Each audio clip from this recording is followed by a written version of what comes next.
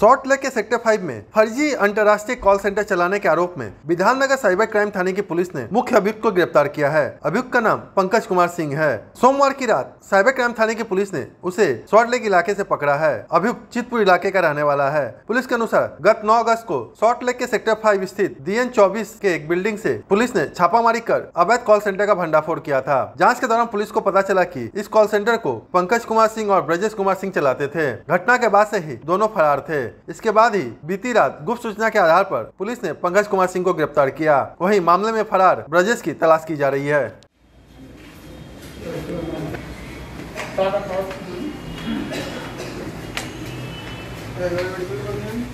है